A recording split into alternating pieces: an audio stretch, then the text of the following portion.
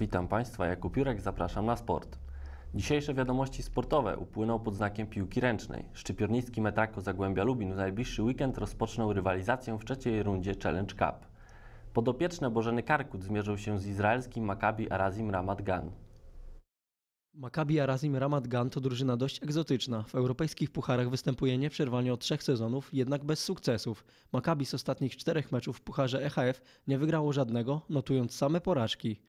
Bardzo anonimowa, bo naprawdę trudno coś tam e, konkretnego e, zebrać. Wiem na pewno, że trenerką jest e, zawodniczka z dawnego Związku Radzieckiego, więc spodziewam się takiego stylu rosyjskiego tej gry. Trochę jest tam właśnie zawodniczek, które przyjęły obywatelstwo izraelskie z tych terenów i ja po prostu się spodziewam takiego stylu grania, ale na ile to jest ten styl e, zagrażający nam, na ile to jest styl, z którym sobie poradzimy, no to tak naprawdę powiem pierwsze 15 minut będzie rozpoznawczo, zapoznawczo, bo to jest no, no, z, tej serii przeciwnik. Przygodę z europejskimi pucharami podopieczne Bożeny Karkut rozpoczną w najbliższy weekend. Obydwa mecze z izraelskim zespołem odbędą się w Lubinie. To pewnie jest też jak, jakaś tam wskazówka, że jeżeli zespół na tym etapie rozgrywek już się zgadza na dwa mecze u kogoś, no to, no to chyba nie- niespecjalnie czuje się mocny. Pierwszy mecz zostanie rozegrany w sobotę 21 listopada o godzinie 17 w hali RCS-u. Drugi dzień później o godzinie 12 w hali SP14 przy ulicy Norwida w Lubinie. W sobotę 21 listopada w Lubinie odbędzie się turniej zespołów piłki ręcznej w kategorii Masters. Zawody odbędą się w hali Szkoły Podstawowej nr 14 w Lubinie. Na parkiecie 14 zobaczymy zespoły Zagłębia Lubin, a także m.in. Pogoń Szczecin, Zgodem Ruda Śląska i Górnik Złotoryja. Drużyny wystąpią w trzech kategoriach wiekowych, plus 35 kobiet i mężczyzn oraz plus 45. Pomysł narodził się w trakcie roku, gdzie odwiedziłyśmy bardzo dużo turniej. Jeździmy po całej Polsce, począwszy od gór, kończywszy na, nad, nad, nad, nad morzem. I pomysł się urodził w związku z tym, że jesteśmy zapraszane, więc chciałyśmy też wszystkie zespoły z Polski ugościć u nas. I stąd jest ten pomysł po prostu. Natomiast dlaczego Barburkowy? Wiadomo, no miasto górnicze to trzeba jakoś ten turniej fajnie nazwać. Podczas turnieju liczyć się będzie przede wszystkim dobra zabawa. Wynik sportowy jednak też będzie ważny. No jest bardzo gorąco, e, nastroje są takie bardzo mocno pozytywne, żeby nie powiedzieć agresywne, nastawione na walkę, na wygraną i na fajną zabawę.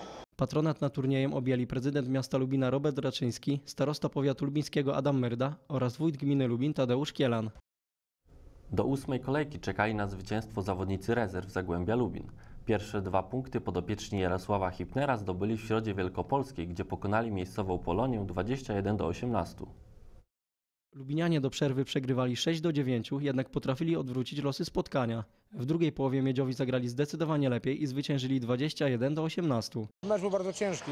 W tej lidze wszystkie mecze dla nas będą bardzo ciężkie, natomiast e, w pierwszej połowie graliśmy e, chaos, też było widać po wyniku. E, sześć bramek zdobytych tylko, całkiem nieźle w obronie. Natomiast po reprymendzie w szatni, po rozmowie z zawodnikami, no, to co miało być zrealizowane zostało zrealizowane. Rzuciliśmy 15 bramek w drugiej połowie, tracąc tylko 9, czyli pierwsze 9, drugie 9 dało nam to wygraną, czego się cieszymy. Myślę, że się w końcu rozwiązał worek z wygranymi, mam nadzieję przynajmniej. Teraz zawodników rezerw Zagłębia Lubin czeka dwutygodniowa przerwa. Na pewno musimy akumulatory ładować, to tu ma miejsce na treningu. Yy, mamy przerwę do 13, 13 grudnia gramy mecz yy, przełożony ze Stwarzędzem. Natomiast jedziemy za dwa tygodnie do lidera, do Dzierżoniowa, gdzie będzie bardzo ciężko wygrać, ale chcemy się pokazać jako młodzi zawodnicy bardzo dobrze. Jak ten przestony, że prezentować Zagłębie Lubin z liderem yy, grupy pierwszej, drugiej lidze. Zobaczymy jak wyjdzie. Dzięki wygranej w Środzie Wielkopolskiej Zagłębie 2 Lubin opuściło ostatnie miejsce w tabeli. Kolejny mecz na własnym boisku rozegrają piłkarze rezerw Zagłębia Lubin. Podopie- podopieczni Pawła Karmelity podejmować będą Piast Żmigród. Spotkanie odbędzie się w ramach 18. kolejki trzeciej Ligi Dolnośląsko-Lubuskiej. Lubinianie są ostatnio w dobrych nastrojach. Miedziowi wygrali dwa mecze z rzędu, pokonując Ilankę Rzepin oraz lidera Górnika Wałbrzych. ostatnie pięć meczów chcieliśmy wygrać, bo rozpoczynając od Śląska Wrocław. E, tak sobie założyliśmy. Niestety nie, nie udało się, tam coś zawiodło w tym meczu, chociaż dobrze nam się rozpoczął, ale byli panowie i panowie widzieli. W 18 kolejce zmierzą się sąsiedzi w tabeli. Piast zajmuje dziewiąte, Zagłębie dziesiąte miejsce. Do najbliższego rywala Miedziowi tracą 5 punktów. Chcemy, mm, chociaż ja drużynę Żmigrodu bym oceniał bardzo wysoko. E, Jest to drużyna, z którą przegraliśmy pierwszy mecz, e, wymagająca. bardzo dobrze poukładane taktycznie. Na pewno łatwo skóry nie, nie oddadzą i, i będziemy musieli zagrać, myślę, że na takim poziomie, jak zagraliśmy z Ilanką, Spotkanie Zagłębia z Piastem odbędzie się w sobotę o godzinie 13 na Stadionie Górniczym w Lubinie. To już wszystkie wydarzenia sportowe na dziś. Dziękuję Państwu za uwagę i do zobaczenia.